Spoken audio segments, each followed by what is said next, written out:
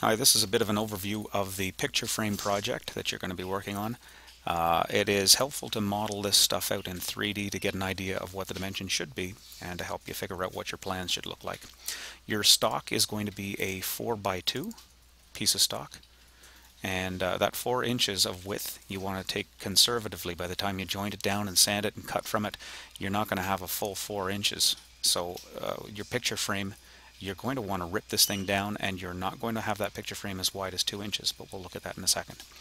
Uh, the height of the thing should be about three quarters of an inch. That is the thickness of the stock. We'll plane it down to that. And that gives you the most stock that you can use on the router table to give it some nice uh, ornate grooves and bevels and stuff. You also will get three pieces of material, well two pieces of material and then you provide your own photo. The photo is going to be a 5 by 7 it's a good size for this project. The backing board will also be 5 by 7 and it's going to be an eighth of an inch thick. And then we'll supply glass that's also going to be 5 by 7 and an eighth of, eighth of an inch thick. And so what we want to do is design that frame so it's going to accommodate these three pieces all sandwiched together and held in place with little darts. So let's start designing this frame uh, from the basics to figure out what the dimensions should be.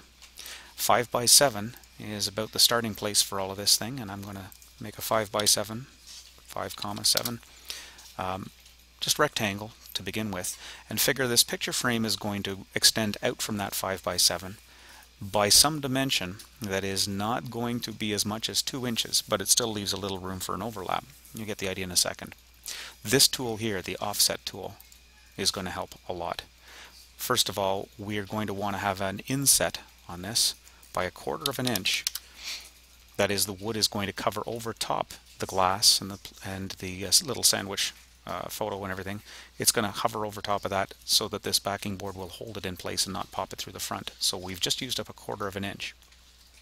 Now if we pull this thing to the outside we know we can't get uh, two inches out of this. So let's assume we get a next even number down 1.75 inches.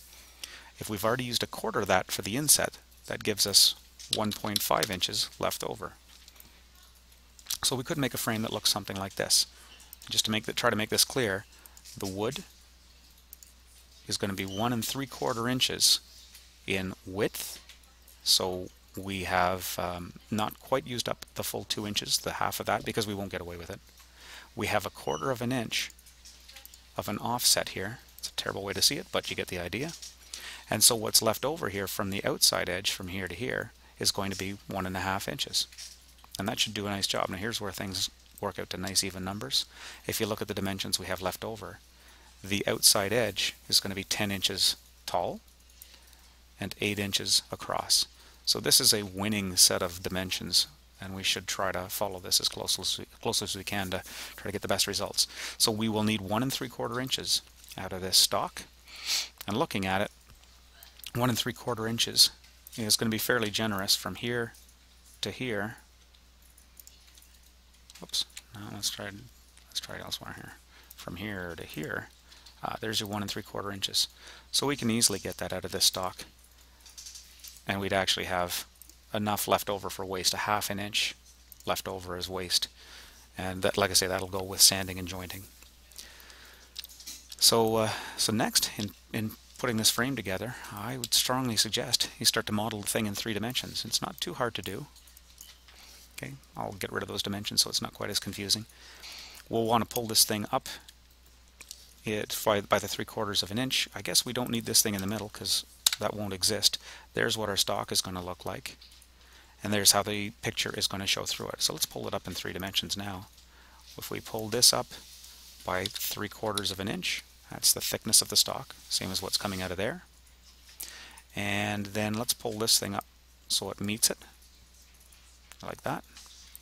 And if we go underneath here and take a look at what's happened, we can actually model this thing a little more accurately. And I'm going to do a little trick and hide this stuff. I've got something on called the outliner. The outliner here lets you name and compose and see all these little bits and pieces. So I'm going to start hiding these things. And you can see you can get them back very easily later on. But I just want to get this stuff out of the way. So that's the outliner that lets me hide that sort of stuff. And I'd like to bring back this edge. We've lost some faces here. And I think I can do that just by drawing a couple of lines or edges where they belong. Oh, there it is. So I now have that back in place. So now we got to think about how much we have to route this thing or put a rabbet cut into the thing so we can hold that glass in place. And if it was an eighth of an inch of glass, an eighth of an inch of backing, that's a quarter of an inch. And you're wise to add another quarter of an inch just for safety so it's recessed nicely in there. So I'm going to take this edge and if I if I rabbet it up by half an inch, it'll take it all the way to there. Leave a little bit of lip around the outside, but lots of room in there for the glass, the photo, and the backing. And then still leave a little bit of a recess in there so that darts and things can hold the thing in place. So that's kind of the look that we want to have for the thing.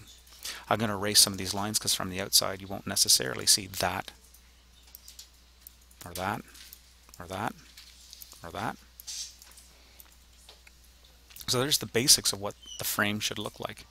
And you'd be really wise to keep track of all of those dimensions um, and put them into a 2D set of plans.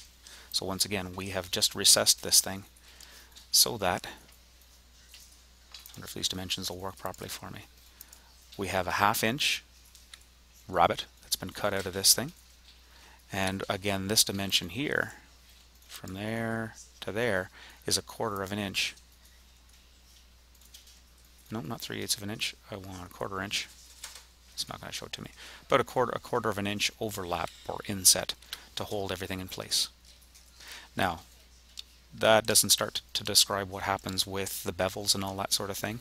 And there's lots of different designs that you can try. Something that works rather well is a Roman ogee. Let's see if I can pull this one off. First of all, I'm going to take some measurements here. I'm going to measure this thing by, say, a half inch here, and a half inch here. I guess I could pull it off this way too.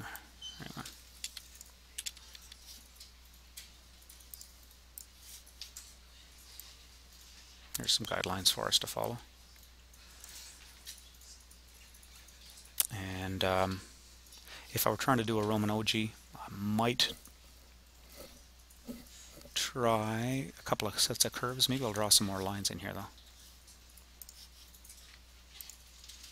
Again, I like going with really nice, easy numbers, quarter inch, half inch.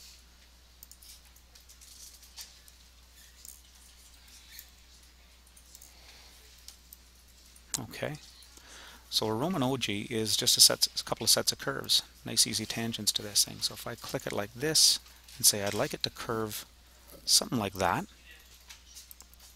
this one to go something like that, That gives me that nice Roman ogee look all the way around the outside. Now, I'll try using the Follow Me tool to impose this thing so it looks a little cleaner too. Hopefully this will give me what I'm looking for. So I'm going to pre-select these edges, that one, that one, that one, and that one, and see if I can then use the Follow Me tool to give me the look I'm looking for. Almost. You get the idea though, that's what's going to create that nice beveled look all the way around the outside.